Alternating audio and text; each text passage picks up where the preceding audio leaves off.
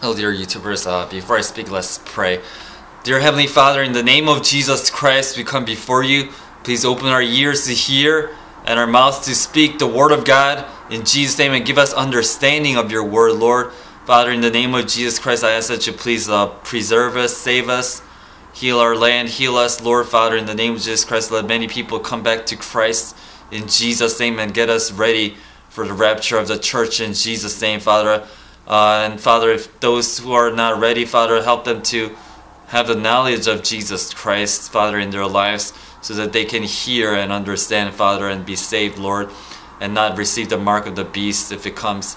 Father, in the name of Jesus Christ, I ask that you please, the Lord, guide every word, every thought uh, by your Holy Spirit instead of demons and devils. And Father, we bind and bind all the dirty demonic spirits, devils, and all the spirits of wickedness in Jesus' name. We bind them by the power of the Holy Spirit in Jesus' name, and we cast them out in Jesus' my name. I pray.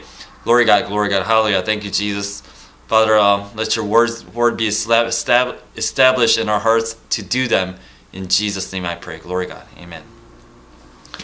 And increase our faith, Lord. okay, well, recently I I was praying with five people in my home this Saturday, and um, well, Jesus said to me, um, "This is what I heard." Was that I am coming soon to rapture my church, to take those who are ready, and to take those who are ready was the thing. I'm just wondering, um, are you ready for Jesus Christ? Do you even know what that ready, being ready means?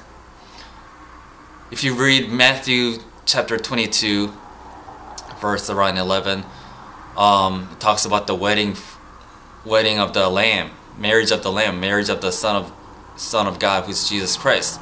And Jesus is marrying the church, and the guests are all invited, and a lot of people are um, too busy with their lives, so they reject the wedding and they take it lightly. Like you might take my message lightly and take it like not seriously. You know, if you not take it seriously, you will not be ready because all those people that did not take it seriously, God sent his armies to destroy them, and he destroyed them and burned their cities and stuff like that. It's written in the Bible. Don't don't feel like I'm gonna bro, I'm not gonna do anything. Um well and then Jesus sends his servants again and then they gather more people for the wedding and then they're in and that means church has been raptured and they're in the wedding and the king looks at the person who has no wedding garment on and says, Hey, where's your wedding garment? And that person was speechless, cannot speak anything, have no excuse. Because when the truth speaks to you, you have no excuse. You, you cannot speak any excuse because when the truth penetrates, you cannot say anything. It's like the truth is like on your face. Where is your garment? And obviously, you don't even have their garment, you don't even know what the garment means. And the truth is like you're not you're unprepared. You're not ready. So what happens to that man is God takes that tells his servants to take them take him out into outer darkness where there is gnashing and weeping. Uh, gnashing of teeth and weeping. So we don't want to be in that situation, right? I mean, you know Jesus Christ. If you know Jesus Christ, um, you know you have to get ready for his coming. And I don't know when he's gonna come. Nobody knows he's gonna come whenever he wants to, right? But um, another lady in our prayer meeting had another vision where um, Jesus is holding this bowl, bowl of wrath, where it's filled up with sins of the world. And Jesus is holding it and it's filled to the brim with sin. You know, and then Jesus is holding this thing and he said, This is held by our prayers of the saints. So, this wrath of God, that the destruction of God uh, should be poured out. And Jesus is holding it. And, and she said, God is a God of peace, not of destruction. But if He needs to be destroying the earth, it's because of our sins. is built up and is filled to the brim. You know, and the judge must do what is righteous. You know, and, and if it if it has to come down to, to destruction of the world, which is already happening by the way, which is already, you know, you see the news, you see oh come on, you know, it's like everywhere earthquakes everywhere, disasters everywhere, some pestilence and all these kind of things, right? So you know that's already there. So Jesus is is is holding this big huge big destruction and and she said maybe she said maybe the rapture, you know, of the saints. Since if the saints all of them are raptured, those people who are ready, who are always praying, all the prayer words, if they get raptured up, nobody's gonna be praying for the stop stopping of this destruction anymore. And she said she feels as if if the rapture happens, nobody being able to pray anymore, so Jesus will let go, and all that uh, destruction will be poured out onto the earth, and then there'll be chaos and disaster in all those places and everywhere. So uh, we got to get ready for the coming of Jesus Christ. And you know, like if you watch my other videos, I said uh, the, the calling away will not happen unless the temple in Israel is rebuilt. The Solomon's temple, the original temple of God, must be rebuilt, right? And then the Antichrist rise and go into there. So um, I'm not I'm not sure when that will be, when the rapture of the church will be, but you know when you see those things happening, and they said that the Temple Institute has everything ready. They have all the stones ready, all the things ready. Every they even have the the genetically genetically uh, produced red heifer, which is a cow kind of thing. When they sacrifice a pure, 100% pure red heifer, um, and they got that ready, and so I don't know what they're waiting for. Maybe the Ark of the Covenant must be there, and uh, I'm not sure what what must be next. But when you see the signs and the stars and the sun and the moon, which are coming, and it's not me predicted, it's the NASA predicted all this stuff, and when you see all these things coming, Comet ISON coming, all this stuff, you know, you know that it's time to get ready to go to our home, which is heaven. Okay, we're not gonna stay on this earth forever. It's even that uh, no man's life is promised yesterday, tomorrow. It's, it, tomorrow is not promised. You know, we can, we some of them might not live till tomorrow till the next day. It's time to get ready. And then the white garment, if you don't know anything, you can watch my uh, previous videos. But basically, how to search it is you go to BibleGateway.com or something like that, and then just type in white garment or white raiment, R A I M E N T. Search those up and read those through. What is that? And it's the righteous, righteous acts of the saints, which is us, who are the saints, those who believe in Jesus Christ those who confess that Jesus Christ came in the flesh and we are of God. If you confess such thing, and I confess that right now. So, um, you know, test all spirits. Not everybody is a true prophet, prophetess, and there are a lot of deceivers out there. Just because they make YouTube videos does not mean that they're of God. You know I'm saying? You gotta test the spirits, whether they speak is according to the Word of God, whether they speak righteousness, and holiness, you know, because the Bible says so, right? Um, let's go to Revelation chapter 20. 21 verse 8 but the cowardly unbelieving abominable Murderers, sexually immoral, sorcerers, idolaters, and all liars shall have their part in the lake which burns with fire and brimstone, which is the second death. It's interesting.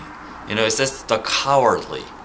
Okay, this cannot apply to uh, sinners because being coward, cowardly has nothing to do with sinners, but it has something to do with believers. You know why? Because if you're a cowardly believer of Jesus Christ, you wouldn't speak the name of Jesus Christ and evangelize to others. You know, it does not go with any sinners because sinners they don't doesn't have they don't need to be either cowardly or brave to enter into hell. They they already going to hell. Okay, but this is for believers because only a cowardly believer will not profess the name of Jesus Christ, will not try to save souls because they are afraid of people's opinion about that, that they're cowardly to speak out the truth to them. You know, so these are the cowardly people that Jesus talking. This is talking about believers. So any believer who is cowardly, unbelieving, abominable, murderous, sexually immoral, who, who practice sorceries, idolaters, who are uh, and all liars shall have their part in the lake of which burns the fire and smoke. So just because you believe in Jesus Christ, you know, you have to have faith in Christ. What is faith? Faith is I looked it up. I looked it up. You can look Google it up right now too if you want to. Faith, listen, is the duty of fulfilling one's trust.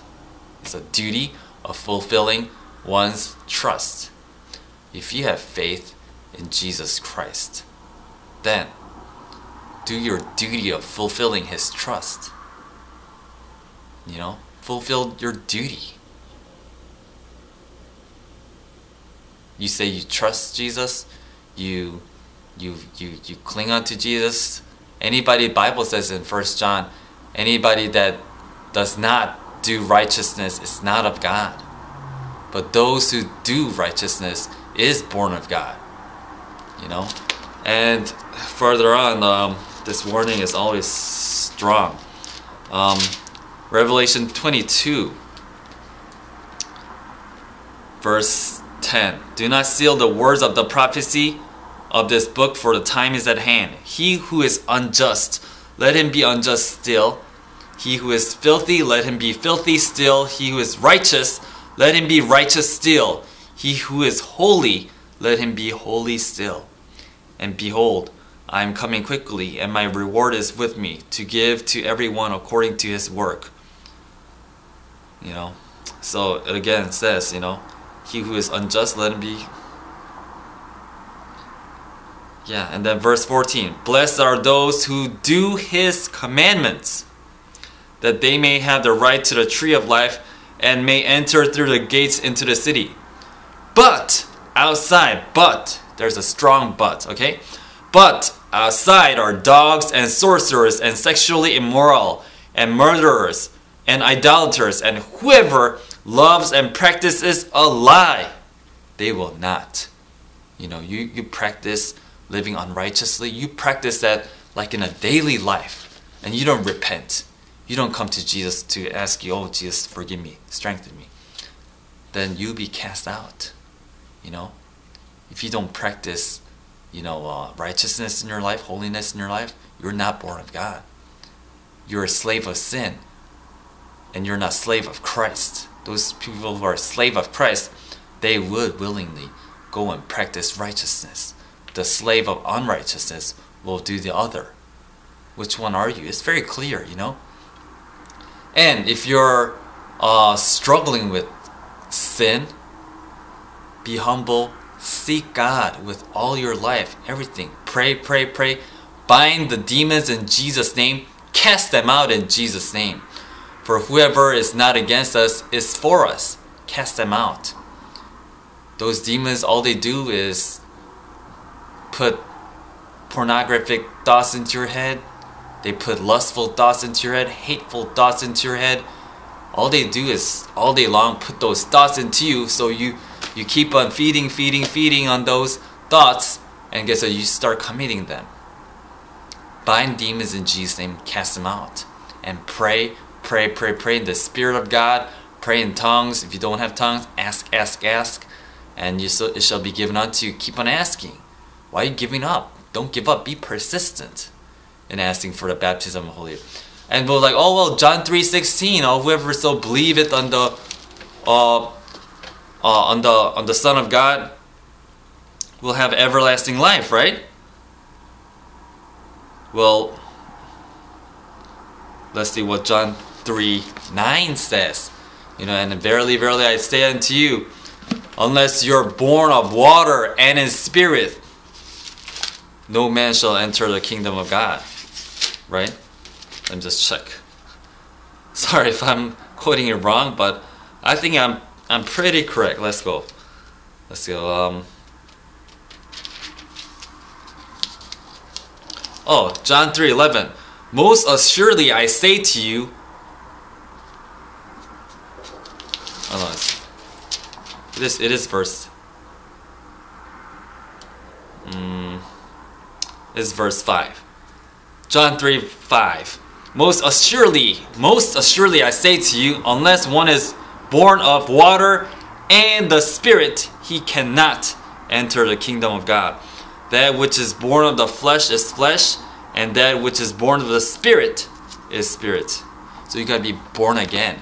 Is your life really born again? Check.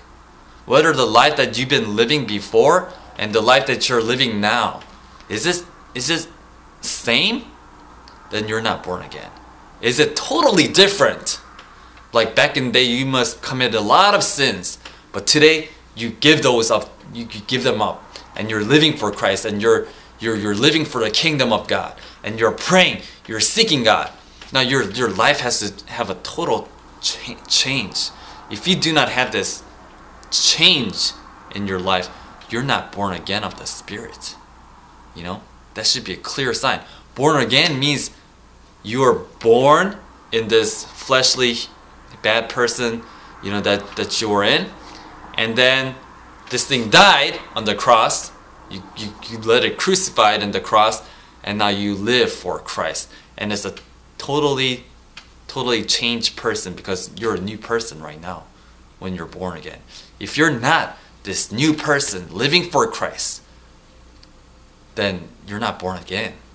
Okay, that's what born again is. If you're born of the Spirit of God, you will do what the Spirit tells you to do. Me, I used to be a hardcore rocker, listening to all this kind of hard rock, metal, nu metal, all this kind of things. And I used to party, party, party, drink, drink, drink, smoke, smoke, smoke, uh, hang out with girls, fornicate, watch porn, uh, just fornicate with girls, and that's how I used to be. But now I forget that kind of lifestyle.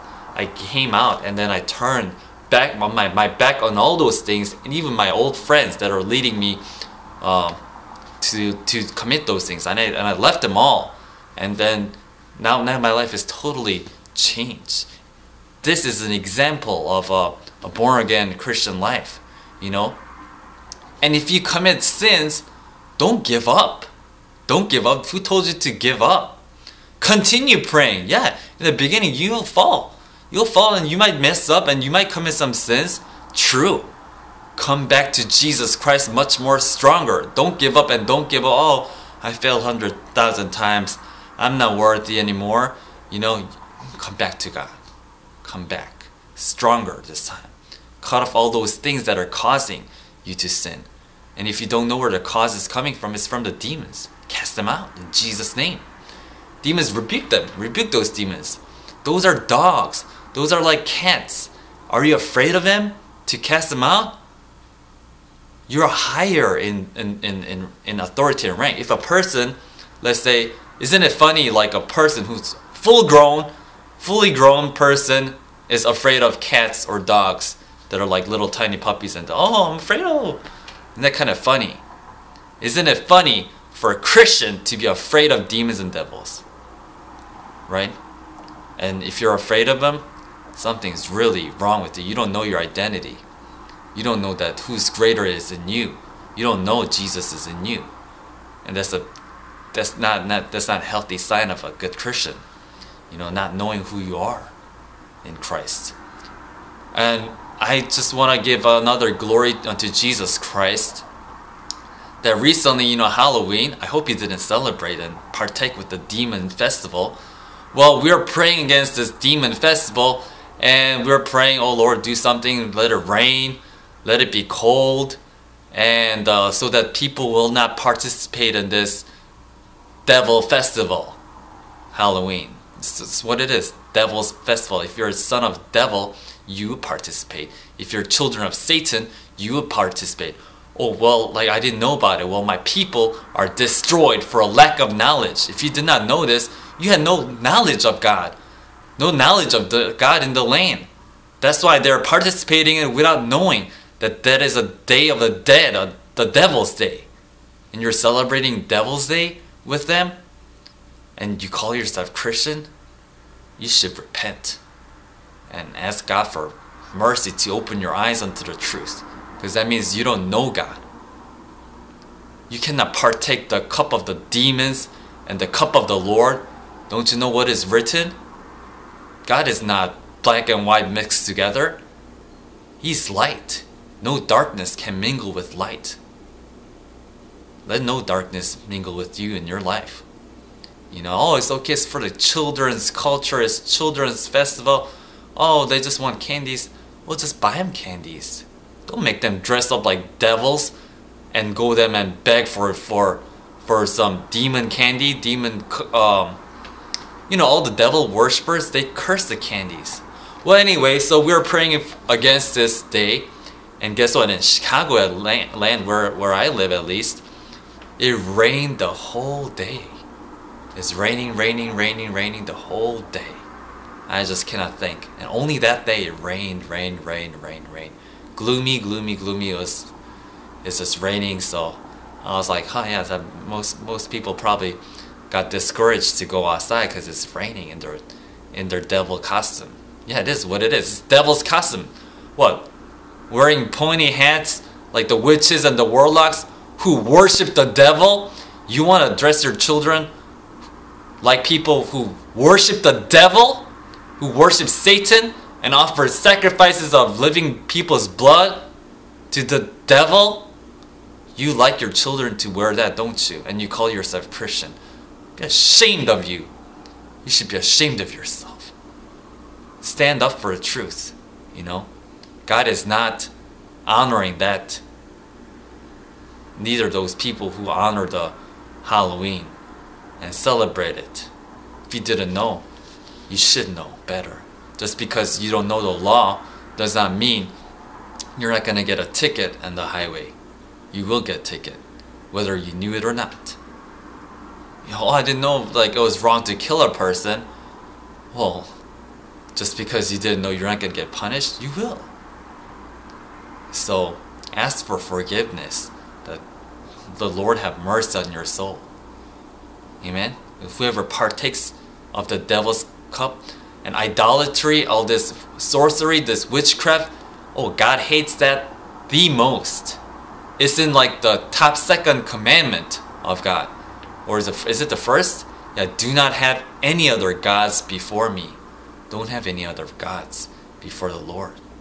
It could be you, it could be whatever. I was like, oh, I didn't know I was participating, you know.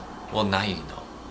If you now you know, and you should repent and ask for forgiveness and get yourself ready with your white garments, cleansed by the blood of Jesus Christ.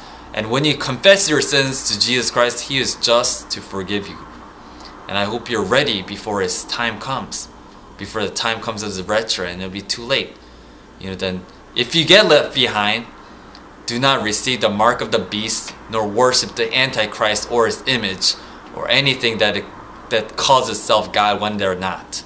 Do not ever worship those things and you stand firm and don't ever get the chip. So don't worship them. Don't worship the Antichrist. Don't bow down to him. Don't, you know, just die. And that they just get killed. Because it's better that you get killed than to be alive and receive all those marks and then to go to hell. Okay?